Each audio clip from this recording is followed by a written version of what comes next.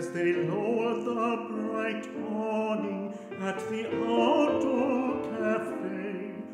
I was breakfasting on croissant and cafe au lait under greenery like scenery de François Premier.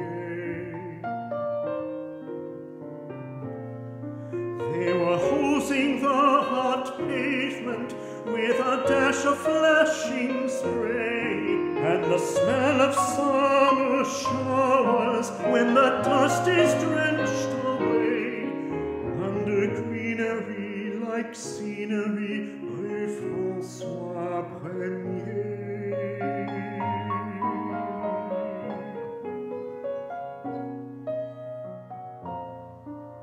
I was twenty and a lover